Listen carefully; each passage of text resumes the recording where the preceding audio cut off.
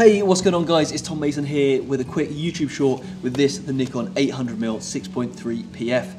Now, I've had it on loan from Nikon once again over the last week or so and been using it out in the field in the UK and been really enjoying working with it. I'm here at RSPB Minsmere this morning. Uh, I've already been out to Havergate today uh, and already had some really nice close encounters with hares and this thing was awesome for getting those frame filling portraits.